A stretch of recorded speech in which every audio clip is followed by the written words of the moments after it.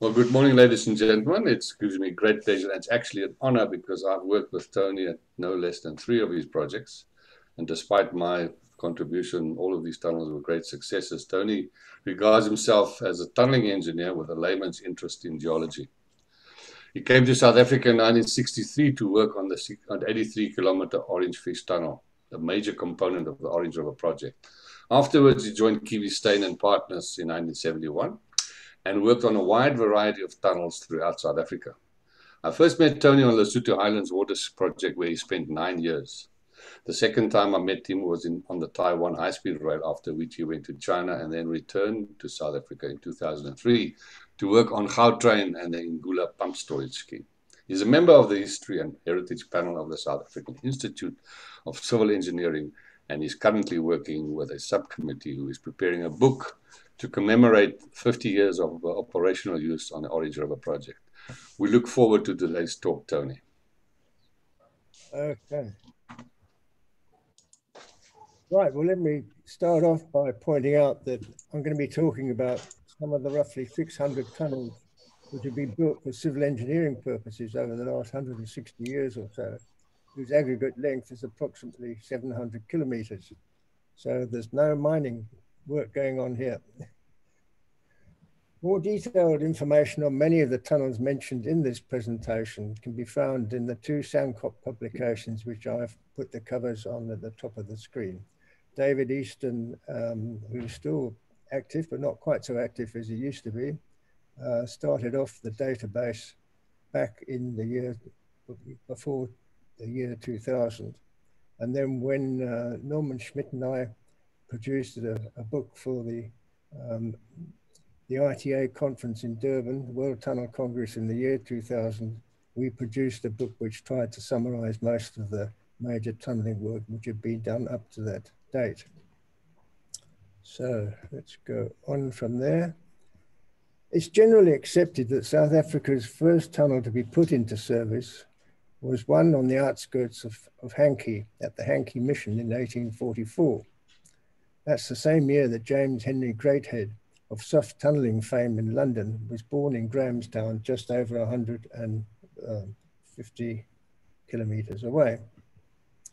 And there's the Hankey Mission back in those early days of the 19th century. It was a 100 metre long semicircular five meter diameter irrigation tunnel that was constructed under the direction of William Philip, son of missionary John Philip. And uh, it's in this tiny, it goes, cuts through this tiny neck of this oxbow on the Gamtoos River. And there's the village of Hankey over there on, on the right. And here is me and the tunnel many years ago. 1997 with this marvelous material, this Enon conglomerate, which is easy as anything to, to excavate and has a pretty marvelous stand-up time. I mean, there you are, there it is. From 1844 to the present day, and it's still, still standing. And there is the Ham River in flood, which it was when we visited there in January 97. And here's the irrigated lands to the south of the ridge, which benefited from that tunnel. But this may not have been the first tunnel in South Africa. In 1835, whilst holding military post in the area, Andrew Geddes Bain was granted a farm in the Eastern Cape, which became known as Block Drift Farm, in what is now the town of Alice. In a letter dated the 3rd of July 1847, Bain, in referring to an irrigation channel he had built on the farm, described how this carried a large stream of water that I led out of the Chumi through a small tunnel. So now here's the farm, and here's the town of Alice. And um, up here, where I've got the mark D2, is where the, the dam small little dam was built.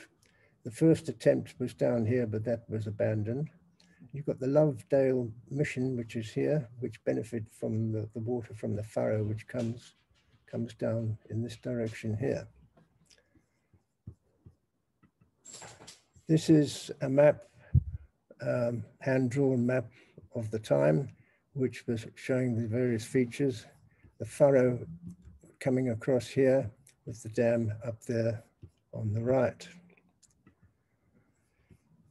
In after Bain's death in 1864, his family fell on hard times and they petitioned the Cape government seeking compensation for the resumption of the farm allocated to him by His Excellency Sir Durban for services rendered.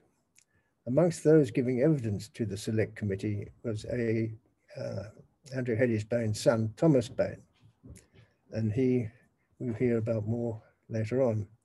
The committee's report contains several references to a tunnel. The committee chairman's statement made on the 24th of June included these words. He, AGB, spent all his money in building a house, clearing lands and leading water out of the Chumi River, and in doing so made, I believe, the first tunnel in South Africa for leading water through. Several years ago, my family and I visited the area and found a small dam at the position labeled D2 in the earlier slides we could clearly make out the remnants of what was once the freely flowing furrow, furrow leading water from the river towards the Lovedale mission. But we could find no evidence of Bain's small tunnel, which is said to have led water out of the river and into the furrow. So there's a mystery there which remains to be resolved. Our history of tunnel building in southern Africa continues with Baines and his building of the mountain pass which bears his name, which rises up from Wellington into the interior. The construction of this epic 19th century endeavour was well documented and has been retold on many occasions in recent times, but from a road building perspective. And these are typical sort of reminders of that whole grand epic piece of work. But now, by now, Bain clearly had an obsession to build a road tunnel. And here there was a need, in his mind, of building not just one, but two of them to shorten the overall route of the pass. His original plan was to construct one near the foot of the pass and a second one near the top. His superiors felt he was going a bit too far and restricted him to the building of the one near the bottom. This is his sketch map that he made after he, uh, he made an inspection of the potential route, which is a bit difficult to read, but the tunnel is somewhere down there. It's more readily picked up on the 1 in 50,000 present day map with Wellington being there. And those of you who know Eerste Tol, which is the place at the top of the pass, uh, where the toll gate was, will perhaps pick up the, the story. There's a there's a spur, there's a mountain spur here where the tunnel was in fact excavated. Here's an aerial view showing the, the spur of the hill. And until recently, the east and west portals were readily identified by uh, signage uh, but that, that signage is gone. So you have to know your way around to be able to find it these days. Anyway, the excavation, of course, was in the very decomposed Malmesbury sedimentary rocks, and it began in March 1849. And Bain reported that a tunnel of 336 feet in length had been perforated through a high hill of decomposed shale which is 14 feet high, and when widened to the extent intended will be 12 feet broad. He noted that the ground cuts like cheese. The tunnel was fully excavated and evidently had sufficient stand-up time to allow its use by construction traffic for several months. He had planned to line the tunnel with clay bricks, and a supply of bricks had been prepared for firing. But before these were burnt, there was some kind of a collapse which led to the western entrance to the tunnel becoming blocked. There had been heavy rain, and one can only assume that there was a collapse of ground at the entrance to the tunnel. No subsidence of ground was observed above the tunnel. Nonetheless, the tunnel was abandoned and the road taken around the spur of the hill, as I've indicated just now. AGB had lost out on his wish to successfully complete a road tunnel, but tunnelling was in the family genes. It fell to his son, Thomas Bain, to build the oldest still extant road tunnel at the top end of Cogman's Kloof Pass, as Henny well knows. Um, here's Ashton and Montagu, and here's the pass, Cogman's Kloof Pass coming up. And the little spur of of rock there outcrop which had to be negotiated. It's really not much more than a rock arch, but I th think we can say that it is a tunnel because the length is slightly greater than the span. And here it is. That's Henny's picture on the left, which led to a lot of discussion the other day. And there's, uh, sorry, yeah, and there's one from the other side, which I got from, from somewhere else and of course the famous fort up there at the top. And strangely enough, what many people think to be the first railway tunnel, which was the NZASM tunnel at Waterval-Boven, also had, at the time of the Second African South African War, had a fort on the top. Um, that uh, actually I think is a tree. I don't think it is it. But anyway, the two portals, the, the old Sazim tunnel there on the left, and you've got the, the new road tunnel, which was built in the 1970s on the right. As I say, many people think it was this railway tunnel, which is quite an interesting one because it got a, a rack and pinion uh, system for operation, um, or did have. Um, is the subject of um, our SA Institution of Civil Engineering um, History and Heritage Panel Award for the current year. So there will be an article describing that in some length in due course. Um, the first railway tunnel was actually built was in the Hex River Valley and it was called the Hex River Tunnel number one between Osplatz and Matroosberg it was completed in 1876, was unlined except at the portal and was 180 meters long. It was abandoned in 1930 when there was a change in the route alignment. And it is, of course, not far from the site of South Africa's longest railway tunnel, the 13,3 Hex River number four tunnel that was completed in 1988 and which was the subject of a major constructional contractual dispute. And there they are. There's the Dawns, and then the Hex River Tunnel, the old one at 1876 is there. And the longer tunnel is just over there, just to the north of it. So now we come to water tunnels. The first tunnel built for conveying municipal water was the Woodhead Tunnel on the western side of Table Mountain in Cape Town, of course. Work began on it in August 1887 and it was completed in 1891 is just 1.35 meters wide and 1.725 meters high. That shouldn't read, and 360 meters long. It was replaced in 12, uh, sorry, replaced by the 1285 meter long Apostles Tunnel, which was completed in 1963. And those who know Ross Perry Davis will know that that was something he was very proud of, having been involved with that. And here's the, the portal of the Woodhead Tunnel. And here are the two tunnels, the Woodhead Tunnel 1891 and the Apostles Tunnel. And um, here we've got the 12 Apostle Mountains there with Camps Bay down there. So, so much for the 19th century and first tunnels of one kind and another. However, Going back to railway tunnels for a bit, the need for them increased as the railway system developed over the country. By 1910, only 11 tunnels had been built with a total length of 1,9 kilometres. But things warmed up after that because between 1911 and 1969, 126 tunnels were built with an aggregate length of 71,6 kilometres.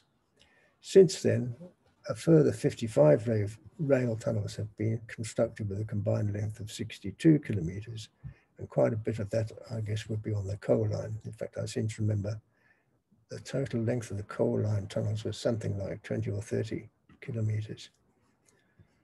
Now we come to water tunnels. Uh, in KZN, you had the Nagle to Durban Heights aqueduct, uh, or series of aqueducts, which were built between 1947 and 1964, which involved the construction of 32 tunnels with an aggregate length of 35 kilometers. The Inanda Wiggins aqueduct consisted of five tunnels with a total length of 17,6 kilometers and was completed in 1994. Then we come to major projects and in, in the Eastern Cape, uh, we've heard a bit about the Orange Fish Tunnel and how it was built between 1968 and 1975. And in 2025, it will have been in use for 50 years. Um, and of course, the Orange Fish Tunnel is a major component of the Orange River project. And here's a, a sketch which um, gives a quick glance of that. The Gariep and Van der Kloof dams control the downstream flows to the lower reaches of the Orange River. And the Orange Fish Tunnel is, of course, fed from water from the Gariep Dam. And it provides a vital source of water to Port Elizabeth. I believe Port Elizabeth um, about 75% of its water supply comes from the, the, tunnel water. And there are a number of towns in the, in the district, which, well, it's in the whole area here, which uh, get water from the Orange Fish Tunnel. And Steynsburg, it has the unique, has a unique uh, situation where it's actually drawing water directly from the tunnel at shaft seven. That's a nice little story for another occasion. But of course, the whole citrus industry and other forms of agriculture in the Eastern Cape just wouldn't be existing today without that water. The annual discharge through the tunnel is 732 million cubic meters per annum, which is about 23 uh, cubic meters a second if you look at it in those sort of terms. So that's the route of the Orange Fish Tunnel in a bit more detail. Um, and uh, we had a major flooding incident at Shaft 2 and dealing with that delayed construction in that area by 18 months. And then south of Shaft 4, there was a methane fire, which delayed construction by, by nine months. Uh, and of course, one of the benefits of this type of layout is that you from each shaft, you're constructing headings in each direction. So if so, the, although there was a stoppage here, it just meant that the guys from shaft five coming back had to go further than they had originally planned to do in order to make up for that delay. And likewise here, the approaching um, uh, drives from one south and three north also mitigated the, the effect of the 18 month delay there.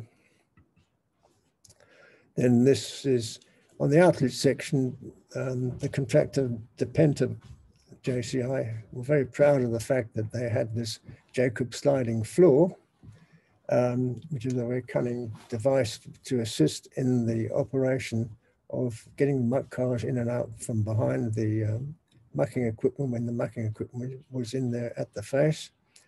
And um, at Teebus, we had quite a involved underground works with the water coming from upstream coming in here. And then you have uh, two, where's this cursor gone? You have two main valve penstock uh, tunnels trifurcating into um, into a total of six valve um, feeders to the valves, which are in here. They were um, at the time the largest pepper pot valves um, in the world. They're 1.8 meters in diameter, and um, they um, basically you've got a solid piece in, in the center, which um, uh, the the valve, the, the, body of the valve has got lots and lots of holes in it, uh, like a colander. vertical colander. And then as you raise and lift the solid piece in the middle, so that uh, uh, varies the, the, flow of water actually going through into uh, the lower part of the chamber and then out to the outlet. There was also provision for uh, a turbine hall, uh, but really the total potential um, power which could come uh, from the use of that would only be about 10 megawatts. And in fact, all there is now is just a small uh, unit, maybe a few hundred kilowatts, just to provide uh, power for operation of these underground works in the local, local village. Um, then, of course, um, after Orange Fish, you had the Jonkershoek uh, tunnel scheme, which is a little closer to home to us here, with tunnel, a total length of tunnels of about 35 kilometers, which were built between 1973 and 1981. And here's a diagrammatic layout of those, with Stellenbosch being up there and Franschhoek there, and Dorp over here. So I think we're beginning to feel that we're a lot closer to home when we look at this diagram. Then, of course, um, we come to Lesotho Highlands. And uh, I had hoped to get a more up-to-date version of this very nice key map, uh, but I haven't been able to thus far. Uh, we've been talking about Pahadi Hadi, which is somewhere up there on the Senqu, and that's going to be the next major thing with a 30 kilometer, just over 30 kilometer length of tunnel coming from there across back to, to Katse. And Henny and I were involved with the transfer tunnel, and, and Andrew Tanner was very much involved with the overall uh, original planning of the whole scheme, which of course then leads to, whoops, leads water to the Muela power station, and from there into the delivery tunnel and thereby onto the Ash River going further north.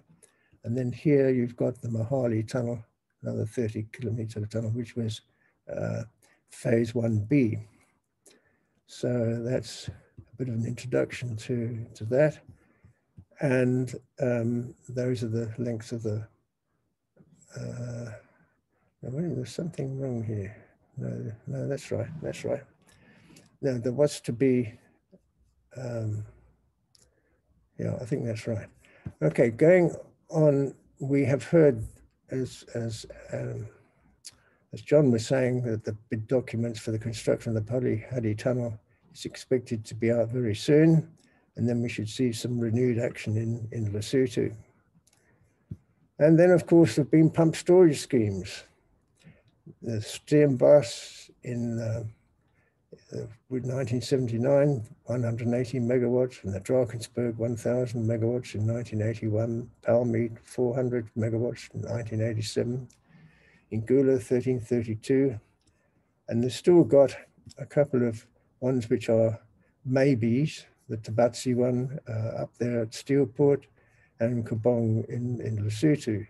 But um, there doesn't seem to be much excitement excitement about pump storage schemes at the moment because the problem is when you come to the pumping phase, you need power. And where do you get power from Eskom these days? You don't. Um, road tunnels are a bit limited. We've had nine road tunnels which have been built in South Africa with a total length of 6,2 kilometers, the longest being, of course, the Huguenot Tunnel, which saw the first use in South Africa of ground freezing and vacuum drainage techniques. And we've got the possibility in the future of one at De Beers Pass to replace the Van Pass. Um, I was involved in some preliminary studies on, on that, as I think a number of other people have as well. And we kept on being told that when the traffic flow reached a certain level on Riebeeck, they just simply had to have this alternative done. But I hear nothing. I don't know if anybody here has heard anything further about that. And of course, by far the greatest amount of tunneling has been done using drill and blast techniques. And the first use of a hard rock TBM in South Africa was on the Cookhouse Tunnel, which was completed in 1974, which formed part of the Orange River project. And here are some photos of that machine. and of the 13 kilometers of tunnel length, 11 were done by this, uh, which to modern eyes looks at a rather strange machine because it has this proboscis here uh, with um, boring a very large pilot. And that is, and then that anchors um, the uh, machine and provides the thrust. This you having a, a telescopic cylinder uh, there, and of course it, it is uh, assisted to some extent by the, grippers there as well. And then, of course, considerable use of gripper machines was made on the Lesotho Highlands Water Project, and Henny will recognize these two pictures immediately. This being the Atlas Copco TBM, which started at the, at the intake, just north of the Madiba Bridge. And here, this was the Robbins machine, which was at Hlotse, which was um, being going to be used to drive from Hlotse southwards towards the intake. And more recently, two very specialized machines have been used in South Africa. There was a slurry TBM used on the Durban Harbour Tunnel. And then more recently, we had the EPB TBM for the Rosebank Kalani Drive on Gautrain.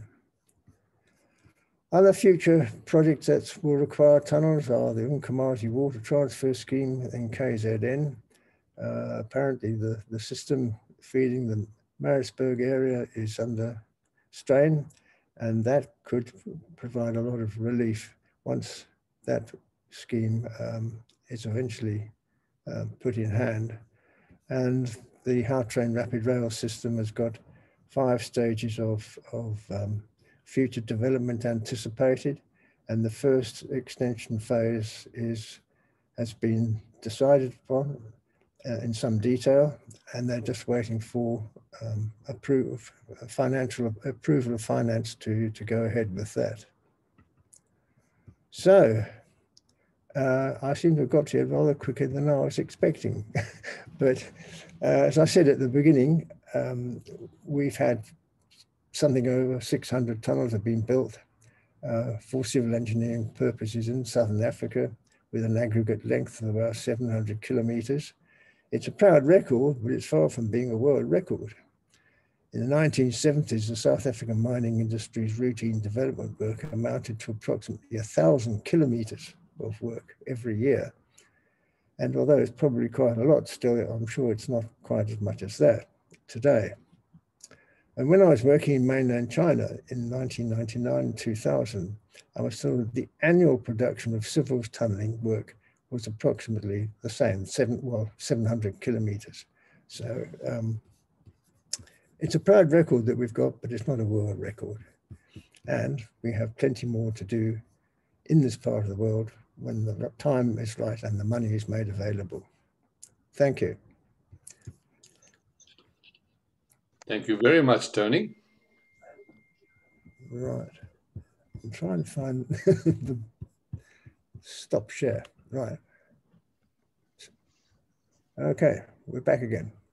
Here we go. Tony, just to get the ball rolling, those, those tunnels you talk about under Table Mountain, do they go across under the mountain to to the um, to the other side of the mountain just for water transfer? Yeah, look, there that was uh, from the very early days, and this is just a takeoff from the the Disa River below uh, the dams on the top of Table Mountain. Um, In that, that sense, they are just simply um, going going through a divide, the, the Twelve Apostles Ridge, if you like. If you think of the Twelve yeah. Apostles Ridge, it's basically going from the Disa River uh, across to the western side, and then it comes around what's known as the pipe track. You've got pipes which bring the water around to the um, purification works on uh, below Table Mountain. Mm, okay, and then then just another question: um, the the tunnel, the, the, orange fish tunnels, were, were those all built in in Karoo sediments? Or what what's the? yeah, yeah, we're in the mid middle of Beaufort, um, so it's all sandstones, siltstones, and sandstones, and occasionally dolerite. Um, in the total length of the tunnel, it was anticipated there would be about 10% would be in dolerite. And that was the way it actually turned out. And we mm. had Robbins uh, come out.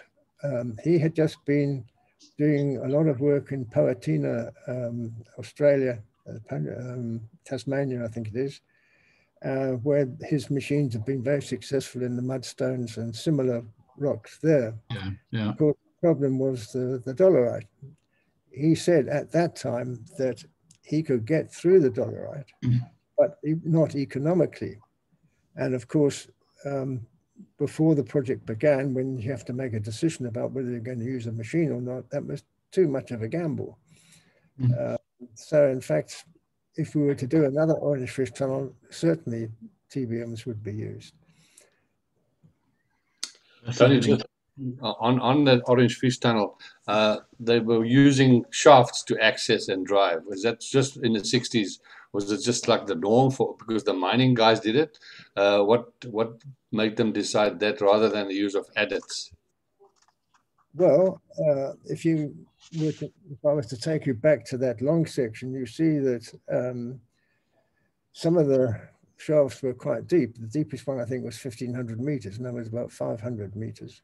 Um, and in fact, um, this is exactly where the South African uh, component of the contracting organizations really came to the fore because um, of conventional vertical shaft development being an absolute uh, uh, thing with with our mining industry. Uh, I mean, certainly on the outlet section, we had two, we had a number of deeper shafts, and they were all done using conventional mine sinking, uh, mine uh, shaft sinking techniques as we've known it in, in South Africa for many, many years. Uh, particularly so on the plateau section where the shafts were deeper. Uh, in the case of the intake section, they were all, um, from the point of view of access for construction, they were in fact inclined uh, adits. Uh, yeah, and what was the, the advance rate like? Uh, oh, I'm afraid I'd have to look it up again, but um, they, sorry, I, I, would rather, I would rather no look it up, yeah. um, rather than taking too much of a wild guess. Yeah. But I, I just have a, a, feeling that we, no, I'd rather not give a figure off. Okay. Uh, I see uh, Andrew Tanner says something about your slide on the Katse Tunnel that he yeah. said Mohale Katse Tunnel was 36 kilometers, not six. Uh, is is is there? Yeah. yeah, I've got I've got some something wrong with that slide. Um, you're quite right. I mean, the um, Mohale Tunnel is is as you say, what, uh, well over 30 30 kilometers. Uh-huh. And tell me, is the jury out now on on is it the Ash River or the Axel River that that it's that it goes into?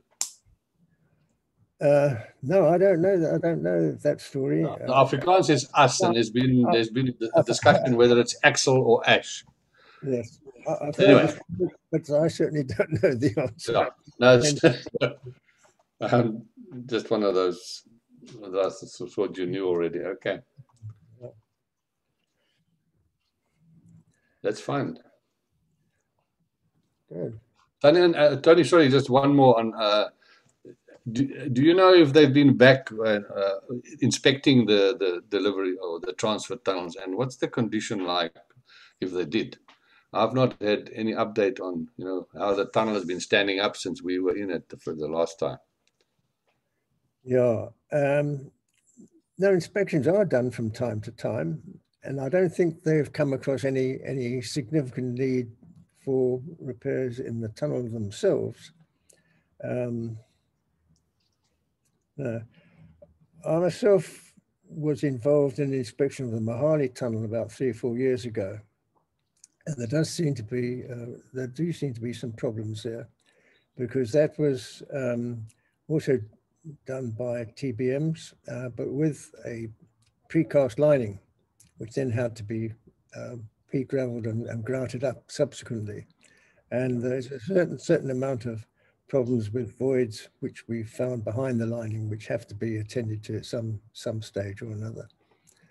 But of course, okay. this is always the, the interesting thing. Do you, in fact, do as we did with a transfer tunnel uh, and working in basalt, it's, it's always, when at the time, it was a big question. How well will the basalt behave over, to exposure over a long period of time? And uh, as you very well know, and many others do too, that some of the basalts are not durable and others are. And the, the philosophy on the transfer tunnel was, well, we'll see if we can get away with only lining the, the minimum amount. And uh, there was one section in particular I well remember the northern end of the transfer tunnel where you had very, very good um, non-amygdaloidal basalt for more than a kilometer, which could very easily have been left unlined. But you know, you have to take a have to take a decision.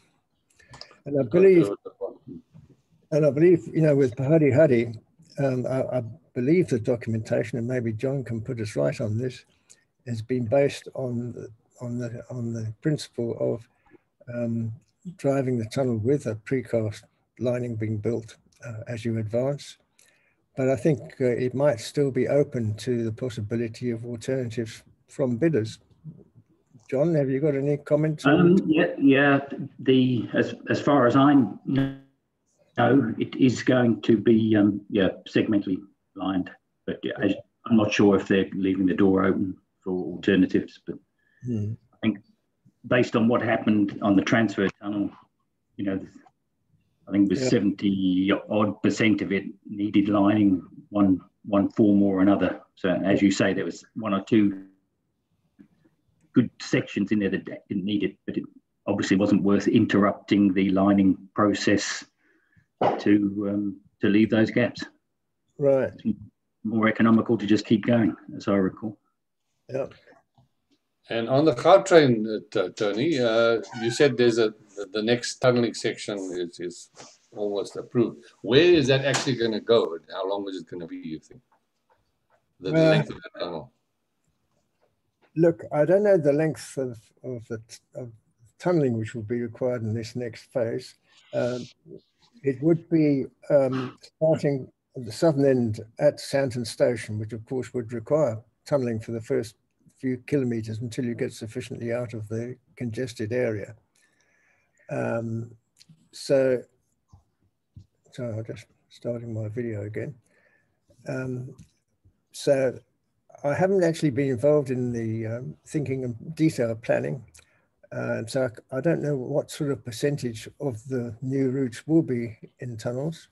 Um, except of course, if you think if you're going out from Johannesburg in a westerly direction, you've got the Witwatersrand Ridge, and where you penetrate that, you're going to have to be uh, in tunnel, of course. Mm -hmm. So, uh, yeah, a certain amount of tunneling will be required, but um, I don't know the figures. Thank you. And then Gerry, had a, are you on the call here, Gerry? I mean, Gerry had a question about flooding in the Orange Fish Tunnel. Does does that make sense? It's well, underwater as we speak. no, I mean it was it was an interesting situation, and um, yeah, people have been looking for this source of water ever since. But the point is that they were doing um, advanced probing, and um, with the evidence of being water, there was, there was a certain amount of pre-grouting being done. But they ended up uh, having a situation where you had, it was quoted in some um, ways as being a million gallons an hour or thousand cubic meters um, an hour. Uh, and it certainly was a major flood which came into the tunnel and flooded the, um, the length of tunnel going to the north of shaft two as well as to the south, which is where the in, incoming water came. And then, of course, it went right up the shaft. Mm. Uh, and um, the way it was solved eventually was to have they drilled vertical holes around a large circle which enclosed the area which had been flooded, of course. And with um, very concentrated grouting work from the surface. Unfortunately, because there it was not terribly deep, only a few hundred feet at the most, two or three hundred feet, they were able to, to seal the water off and then pump the water out and resume, resume tunneling. But um, one of the most amusing pictures that one finds in going through the records are people making inspections from a fishing dinghy um, in, in, the tunnel. Mm. So, yeah. And, and, and Tony, that big sort of um, junction box that you showed with um, pipes and valves and and everything in, in, the middle of the tunnel, was that to slow down the water flow or control it? No, it is, it is simply the control mechanism. You know, mm. it's your tap for the tunnel. You know, how much water do you want to be let out of the tunnel? Okay. Uh, with these very large quantities of water and and the need to to vary those um, in very in a very controlled way, you hmm. needed mm. to have well, these uh, large valves uh, in order to to do just that. And, and, and that infrastructure is all still working like it was built to do many years later, 50 years later. Well, yes, although I have picked up that they have had to um, do some repair work on at least one or two of those valves. I mean, what happens is that the whole system is, is, is turned, is closed off for about a month every year to allow inspections to be made and to deal with any repair work which might be required. Mm. And um, it's, it's a long journey. I, I, I went on one such inspection a number of years ago, and we drove uh, uh, in an ordinary vehicle. Uh, no, it wasn't a fancy tunnel inspection vehicle. Uh, we went down into uh, the incline shaft at shaft two, then drove northwards to, to the intake tower, mm. and then back to shaft two, and then went on all the way through to uh, the underground works, and that took a whole day to do. And then the following day, we went back at the underground works and went down to the outlet so um, yes, in fact, I'm quite keen to, to know when they're next going to be doing such a, a closure. It would be interesting to have take another look. Go, and do a reminiscence trip. And yeah, I mean, I, I, guess the fascinating thing is all of you guys and our amazing gold miners and deep level miners. You know, you you could use those skills in many other places. And and credit to to the people who did all that amazing work. Mm, mm. Yeah. Yeah. And sadly, I don't think many of those skills are left today. Graham Gavin. Yeah, hi, John. Yeah, I, I think it's a dying, um, it's a dying uh, uh, sort of uh, skill we've got at the moment, or we had, yeah. I'd just like to ask Tony there one question. Um, you seem to have left out all the tunnels that were constructed um, as the railway line was developed uh, from Durban inland in the latter part of the 19th century? Well, look, um, you're right, in as much as I, I, made some reference just by very providing some very global numbers. And um, Norman Schmidt um, has, who was very much a, a railways tunneling man, uh, who was involved in a lot of that tunneling work that you're referring to wrote this uh, up very well in that uh, one book that we produced in the year 2000. And uh, if you gave me your contact details and, and you wanted it, I would be very happy to, to copy that section of, of the book and, and uh, email it to you. Well, thanks, Tony. I'll do that. Uh, I did find uh, some interesting material on a website that deals with the development of those railway lines in quite some detail, and there is reference to how uh, you know the they had to sort of do the the tunneling as well as you know uh, given the technology of the time where they had to you know do very long deviations to cope with the topography. And I'll, I'll send you some of the links so you might find it interesting. Thanks. No, that be very, very much appreciated. Thank you. Um, as i said as was mentioned i'm a member of this history and heritage panel that we have in the South African Institution of Civil Engineering, and uh, we're interested in, in getting good information on, on, on that older stuff. Um, and that could be very useful. Any more questions, ladies and gents?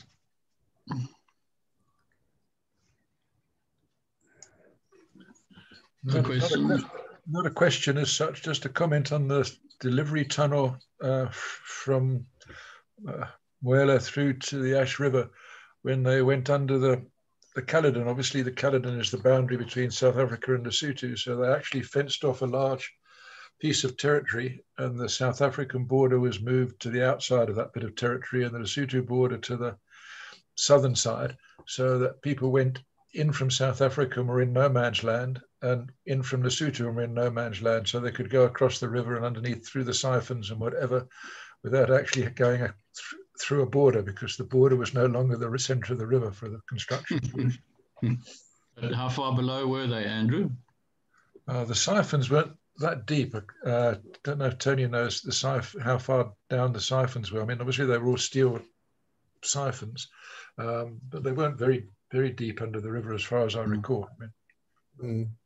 Can't remember, but there were several siphons, and the siphons are actually the hydraulic constraint on the tunnel, as far as we could tell from some recalculations of tunnel roughness, which is always the uncertainty when you're doing the hydraulics of the tunnels how, how will it age? And there was quite a lot of work done on the transfer tunnel monitoring uh, hydraulic head loss through the tunnel with age, and uh, Tony Boniface was heavily involved. Uh, sorry, uh, Christopher Lewin was heavily involved in all of that work. Okay. Yeah, um, Jim Metcalf as well, and Jim Metcalf did some uh, long-term studies with water affairs on the age, aging effects of friction um, for the Orange Fish Tunnel. And if anybody is interested, I can pass that uh, information on to, to them. They, Jordan, the younger, and Jimmy, Jim Metcalf wrote a, a paper on that topic. But uh, yeah, Okay, and, and just going back to the question about the flooding on the orange fish, and, and I guess it's a, a, a, bit further than that. I mean, was there loss of life, or how, how, how was the health and safety in that um, building of that amazing tunnel 50, 50 years ago? Well, sadly, the overall record safety-wise was not all that fantastic. I, can't remember the figures; it's a long time ago. But I mean, in terms of the flood, there was. Um, I'm not aware of any, any accidents associated with the flood. Mm. Unfortunately, with the methane fire, um, there wasn't anything, there weren't any major industries. I, I think there was one loss of life at the methane fire itself. But the, the whole question of methane and how you've got to be careful uh, is so, so important that people can often overlook it. And when they were closing up the works at Shaft 5, there was unfortunately a, a loss of life of, of, several people when because of a pocket of methane had uh, collected there. And of course, you know, you're above the Ecca, so you can always expect, uh, it can always be a possibility. And even in Lesotho, on the Lesotho, on the transfer tunnel, in the Hlotse area, uh, we at tunnel level we did have traces of methane, but nothing, nothing uh, which turned out to be dangerous. But enough of a warning that you've got to be careful. Always test test your gases. Can I just ask something, John? Um, Tony, I, I, I, my signal left for a little while, so you may have talked about it, and I may have missed it. But uh, in the Western Cape water tunnels uh, of the old Boland uh, water plan. Uh, they did some, I believe, some freezing of mud uh, to be able to tunnel through. And I think it was also applied at the, uh, the Du Toitskloof uh. Yes, is that something that is done often? No, very rare. But I mean, you're quite right. At the one end of the Huguenot tunnel, that that technique was was used uh, very successfully. Um, and they use vacuum drainage as well, freezing and, and vacuum drainage. Uh, but it is yes, I think it started, they, they, originally uh, they originally did that on the on the water tunnels, and that was then transferred uh, that knowledge to the well, to the road tunnel. Hmm. I'm I'm interested in your saying that. It's something of which I'm not aware, but I would be interested to know more. Hmm. Yeah. Okay, well, we'll put you and Peter in touch again, Tony. So you you've got some um, additional research work coming in here, information. Yep. Tony, could you expand on vacuum drainage? No, because I know nothing about it. you, you, you, you say it with such a prominent, and, and I don't know how it works either. Anybody here who knows what vacuum drainage, how it works? You get rid of the water by sucking it away. anyway, I, I, just want to use this opportunity to to say to you guys, we, we next week we're going to try something new. We're going to have our breakfast talk. We can accommodate 20 local people, and we'll also try and have it zoomed. So this will be the first time we combine both of these methods. So bear with us if there are any technical issues, but we're looking forward to to seeing most of you next week. Okay, thank, thanks, Henny, and thanks, Tony. That was really most interesting and glad that we had um, some good discussion and there were a few areas you need to brush up on that you missed out. So we'll, we'll expect um, another talk sometime with some of those those inputs. And thanks to everyone for, for attending this morning. Um, most appreciated. Any last questions? Yes. Adele? No, okay. Anyone else? Thank you very okay. much, everybody, and goodbye. Thanks, Tony. Right. Thanks, Tony. Enjoy the Bye. rest of your day. And you. Thank, thank you so much from Rosemary and Arnold too. Bye. Thanks, Rosemary. Right. Thanks, Tony. Hope to, maybe we'll see you sometime. Yeah, Cheers, John. yeah, thanks a lot, Tony. Cheers, Andrew, as well. Yeah. Cheers, John.